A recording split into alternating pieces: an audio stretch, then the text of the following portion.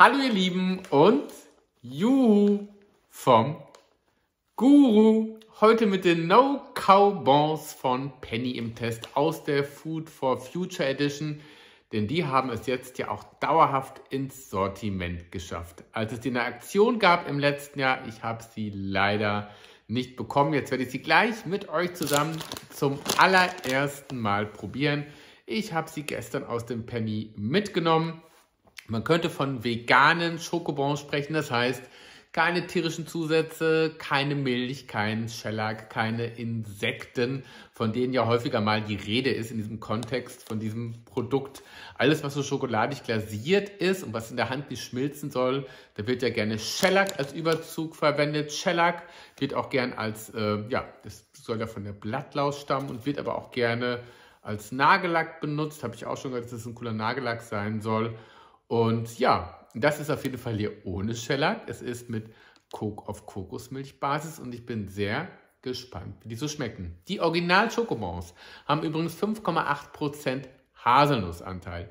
Diese Bons haben 5,3% Haselnussanteil, aber dafür 38% Kakao. Also sie können nicht so ganz mit dem Haselnussanteil der Schokobons mitziehen. Ich bin sehr gespannt, wie sie schmecken.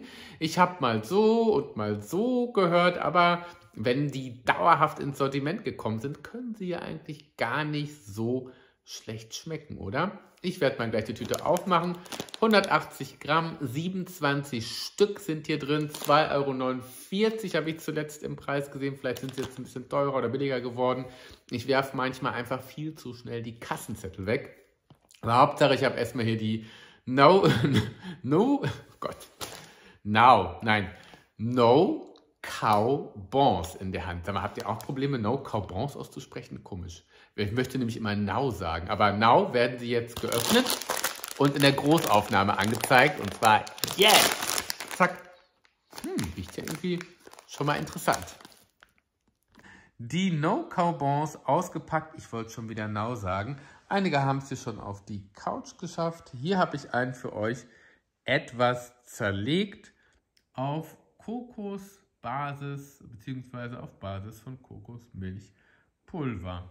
Von außen sind die wirklich kaum zu unterscheiden, finde ich. Ich mache nochmal einen auf. Schaut mal. Die sehen nämlich echt aus wie...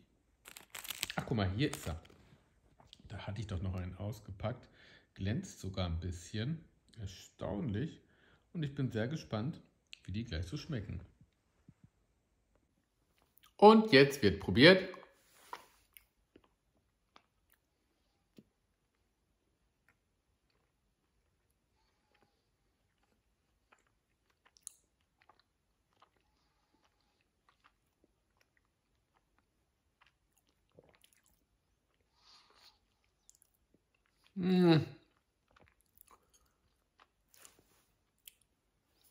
Die Enttäuschung steht mir ins Gesicht geschrieben. Also mit Schokobons hat das überhaupt nichts zu tun. Nicht mal im Ansatz geht das irgendwie in die Richtung. Die Idee dieses Snacks ist cool.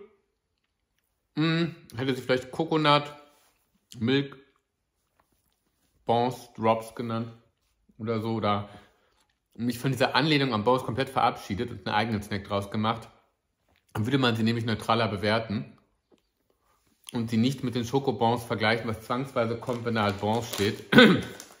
und bei dieser Form. Da enttäuschen sie auf ganzer Linie. Aber unabhängig von diesen Schokobons, Vergleich,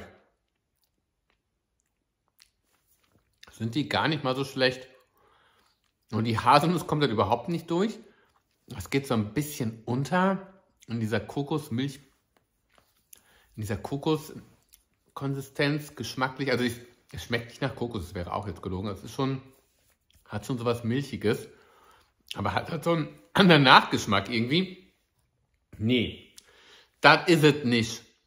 Das geht nicht in die Richtung Schokobons. Das hat es so ein bisschen suggeriert. Ich würde dem Ding einen eigenen Namen geben und wenn es nochmal darum geht, Schokobons eine vegane Variante rauszubringen. Probiert es bitte nochmal aus und macht nochmal eine andere Version davon. Würde mich schon interessieren. Ich glaube, sehr, sehr viele Leute da draußen wären sehr glücklich über richtig coole vegane Schokobons. Das Produkt als Süßigkeit ist echt nicht schlecht, will ich neutral sieben Punkte geben, aber als Schokobon-Vergleich wäre es ein Punkt, weil es wirklich überhaupt, na vielleicht zwei Punkte, weil es überhaupt, naja, nicht im Ansatz den Geschmack da wirklich trifft. Schade. Hatte mich echt drauf gefreut, aber nichtsdestotrotz sind die lecker. Also als veganes Süßigkeitenprodukt gebe ich dem Ganzen sieben Punkte. Probiert es mal aus, wenn ihr Bock auf was Süßes habt. Und hier oben könnt ihr den Kanal abonnieren, Daumen nach oben. Und dann sehen wir uns im nächsten Video wieder, ihr Lieben. Tschüssi.